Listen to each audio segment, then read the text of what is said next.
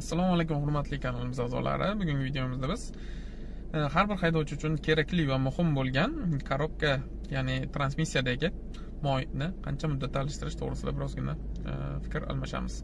Ho'p transmissiyadagi ya'ni avtomat e, yoki mexanika korobkadagi moyni almashtirish biz uchun nimaga kerak? Bu korobkani ish samaradorligini oshirib uni uzoq muddat e, hech qanday servislarsiz ya'ni buzilishini oldini oladi qisqa qilib aytganda foydalanish imkonini beradi. Hop birinchi o'rinda yurtimizda keng tarqalgan manimcha hozir bir yetmish foiz e, yoki undan biroz kamroq bo'lishi mumkin.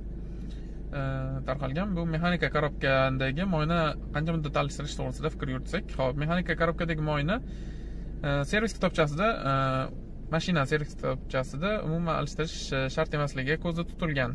Lekin e, shu ish bilan shug'ullanuvchi mutaxassislar bilan maslahatlashganimizda bu e, mexanika korobkadagi moyni ikki yuz ikki yuz ellik ming kilometr masofada almashtirishni tavsiya etishadi.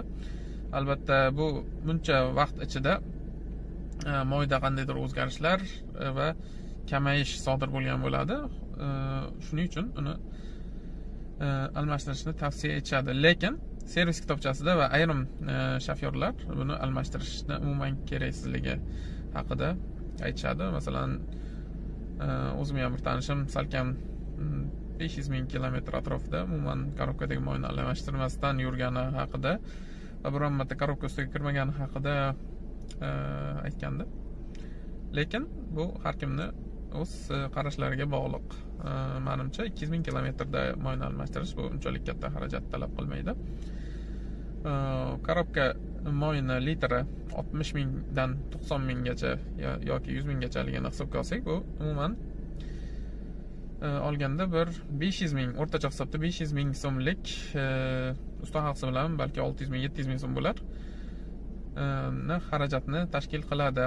Endi avtomat korobka haqida biroz e, gaplashadigan bo'lsak avtomat korobkadagi moyni servis kitobchasida yetmish besh ming kilometrdan e, alishtirish e, kerakligi to'g'risida yozilgan. Lekin biz eng optimal varianti eng optimal almashtirish muddati oltmish ming kilometr. Yoki masalan sizda ikki ming o'n uchinchi yil moshinangiz bor lekin hali ellik ming ham yurgani yo'q.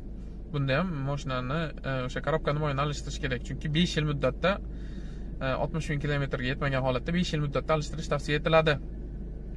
E, hozir bizda ishlab chiqarib turilgan e, bir yarim motorga qo'yilgan avtomat korobkalar olti sakkiz litr moy oladi.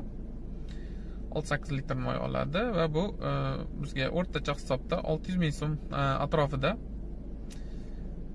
xarajat keltirib chiqarishi mumkin.